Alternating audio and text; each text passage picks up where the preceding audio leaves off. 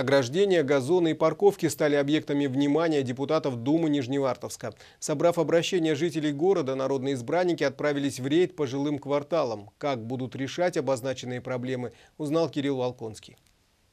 Организованной пешеходной зоны у рынка в седьмом микрорайоне нет много лет. Внутриквартальную дорогу рядом с торговыми павильонами одновременно используют и как проезжую часть, и как парковку, и как тротуар. Жители квартала просят установить ограждение и обезопасить тем самым пешеходов, среди которых немало детей. В прошлом году монтаж таких конструкций во дворах позволил значительно сократить количество ДТП с участием школьников. Сейчас вот решается вопрос э, все-таки по, по какой программе пройти, да?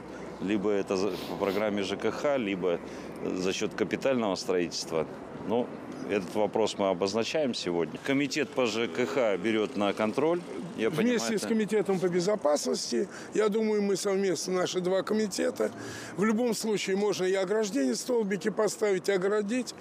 Ну, более-менее привести в порядок эту часть. А жители этого высотного дома тоже просят установить ограждение и спасти тем самым газон. Зеленую зону здесь уничтожают автомобилисты. Обращение в администрацию результатов не дали. Там же бордюры низкие, там прям заезжают любые машины легковые доставить даже грузовые машины сюда. Писал на Каратаева, Каратаев отписал мне, что денег нет, не запланировано, остановки не будет, ограждения пока не будет. Вот э, определиться со значением, наверное, необходимо собственнику, что он э, здесь пытался ну, вот, показать вот такую организацию благоустройства этой земли. Если это стоянка, то должна быть ну, один вид благоустройства. Если это зеленая зона, то ну, вот, ни одной зеленой травинки мы здесь пока не видим.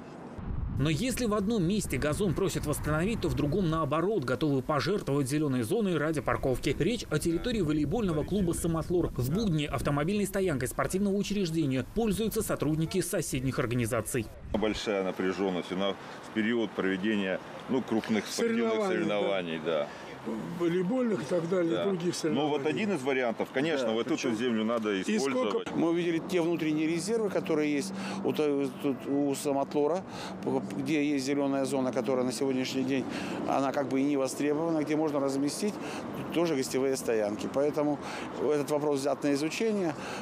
Примерную сумму управление капитального строительства посчитает, э, и вопрос будет решаться, наверное, в следующем году.